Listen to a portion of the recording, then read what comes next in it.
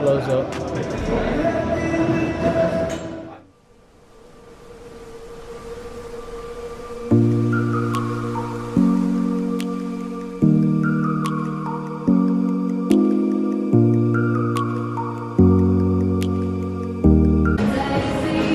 Beltless right here,